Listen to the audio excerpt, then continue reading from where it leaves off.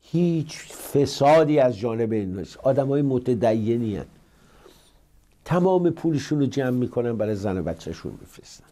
برای خانوادهشون. وقت انصافه که آدم با اهل سنت این کار رو بکنه.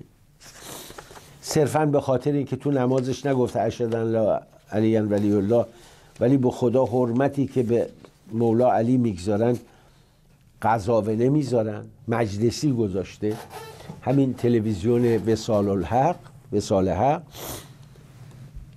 متونی رو در میاره از متون کتاب امهات شیعه و می‌خونه.